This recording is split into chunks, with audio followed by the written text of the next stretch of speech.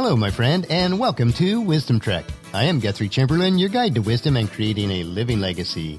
Thank you for joining us for our five day per week wisdom and legacy building podcast. This is day 401 of our trek, and today is Wisdom Wednesday. Every Wednesday along life's trail, we will dig for the nuggets of wisdom that are found in the book of Proverbs. Today, we will explore the second half of chapter 15. We are broadcasting from our studios at the Big House in Marietta, Ohio. By the time this episode is released, we will be back in Charlotte, but I am recording a few days in advance, so when we travel to Arizona next week, I will have a few days prepared ahead of time. I have been able to get caught up with most of our client work and have been working on some of our longer term podcast related projects. Progress is being made, but we are taking our time to learn, to plan, and to prepare to ensure everything is done as correctly as possible. I should be able to make a couple announcements on more definite plans within the next couple of weeks. We do depend on our years of experience and wisdom from God to guide us in our planning and execution. As we relate back to the principles of planting and harvesting, the time we invest in planting through learning and preparing gives us the harvest both in experience and wisdom. We are in continual learning mode with the study of the book of wisdom, which is Proverbs. On our check for today, we will dig into the verses 18 through 33 of chapter 15. The title for today's trek is taken from verse 30, and it is Good News Makes for Good Health. So let's start right in with verse 18. A hot tempered person starts fight, a cool tempered person stops them. A person who chooses not to control their temper is one who is always looking to fight with somebody. More often than not, this person is really upset with themselves. They're very selfish, and they do not love themselves properly. Because of this lack of self worth, they are always trying to prove themselves by fighting with others. This could result in physical or emotional abuse to others. In contrast to this, a person who chooses to keep their emotions under control because they are comfortable and confident with who they are will actually do the opposite and work at stop fighting when it does occur. Verse 19 A lazy person's way is blocked with briars, but the path of the upright is an open highway. A person who lacks initiative and is generally lazy will not take the time to properly maintain their lives so that they can be efficient and effective. This may result in a messy desk, a messy home, or in our analogy from this verse, a trail that is blocked with the briars of life. This type of person seems to have more crisis and drama in their lives because they do not tend to the minor issues while they are still minor. If you are effective and efficient with your life, then you will take notice and correct the minor issues, such as the briars of life, before they grow out of hand. Because of this, your trails of life will be more open so that you can make the progress that is needed. Verse number 20 Sensible children bring joy to their father, foolish children despise their mothers. This verse is interesting from two aspects. I do not like to generalize the gender role, but I think it does play a part here. When a child is sensible, the father is joyful and will take credit for the child's sensibility. On the other hand, when a child is foolish, a mother will usually take it much more personally and feel that the children despise her through their foolish actions. Now, there should be a balance between these two, realizing that both the father and the mother have some responsibility for training their child properly. But ultimately, the child is responsible for their decisions that they make. Verse number 21 Foolishness brings joy to those with no sense. A sensible person stays on the right path. Now, somehow, in their perverted mind, a person who is foolish will take joy in their foolish action, and this is a clear indication that they have no sense. In contrast to this, a person who is truly sensible will stay on the path that is right and their actions will be right. Verse number 22 Plans go wrong for lack of advice, but many advisors bring success. Now, this is an important and crucial aspect in all areas of our life. We all have the capacity to get so wrapped up with our own plans that we cannot see the forest for the trees.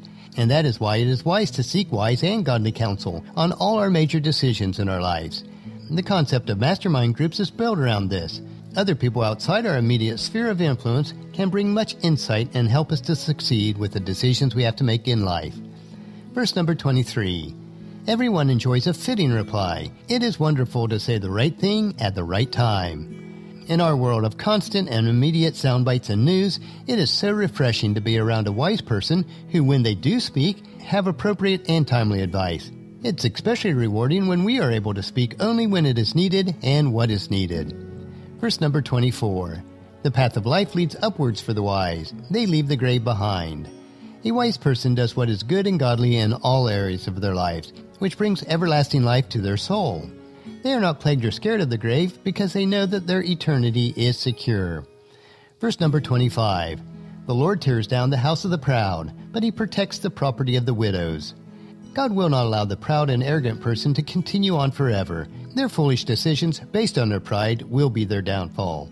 On the other hand, God will honor and protect the most vulnerable people, of which widows usually fall into this category. Verse number 26 The Lord detests evil plans, but he delights in pure words. God is never pleased when we choose to go against his precepts and plans that are not pleasing to him, but he will delight in us when we humbly follow his commands. Verse number 27 Greed brings grief to the whole family, but those who hate bribes will live. A family who is led by a person with a lack of integrity will all suffer because of the decisions that are made by those leading the family. In this particular verse, it would indicate one whose integrity will change for self benefit. If a family leader stands strong with integrity and does not bow to fleeting pleasures, will live at peace. Verse number 28 The heart of the godly thinks carefully before speaking, the mouth of the wicked overflows with evil words. Once again, Solomon is referencing our speech. A wise and godly person will think before opening their mouth to speak, and will only speak if it is needed and helpful. An unwise and wicked person spews out verbal garbage most of the time. Their speech will be overflowing with evil. Verse number 29 The Lord is far from the wicked, but he hears the prayers of the righteous. If a person chooses to ignore God and his commands, then they cannot expect him to be around when crisis hit. The opposite of that is a person who comes to God for guidance and follows his word daily. God will be there listening to their petitions.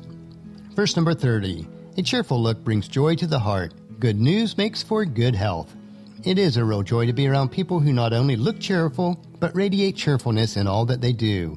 A cheerful look coupled with good news truly is good for your health. Emotionally, physically, and spiritually, we will be strengthened through a cheerful person who brings us good news. Verse number 31 If you listen to constructive criticism, you will be at home among the wise. Now, criticism is not bad if it is constructive and given in such a way that we can improve ourselves. Being willing to listen and learn to those who really care for you and desire what is best for you is something good.